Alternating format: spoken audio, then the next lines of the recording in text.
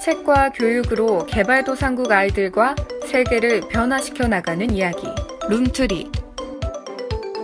당신은 존우드의 프로젝트에 당첨되셨습니다. 라는 서문으로 시작되는 미국에서 날아온 존우드의 편지. 이 편지의 목적은 무엇일까요? 제3세계 국가의 아이들은 열악한 환경에서 책 한 권 없이 수업을 듣고 있다는 사실을 알고 Room to Read를 설립하여 아이들을 위한 모금 활동을 시작한 존 우드. 전 세계의 모금 활동으로 후원받은 책들은 빈민 지역의 아이들에게 보내지게 됩니다. 교육은 아이들이 누려야 할 기본적인 권리입니다. 무한한 가능성을 가진 씨앗과 같은 아이들에게 양분이 되어줄 수 있는 책 한 권. 변화의 시작이 될 수 있습니다.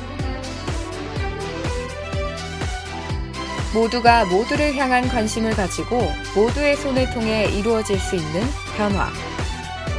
룸트리드를 통해 자라나는 아이들의 미래를 바꿀 수 있습니다. World change starts with educated children.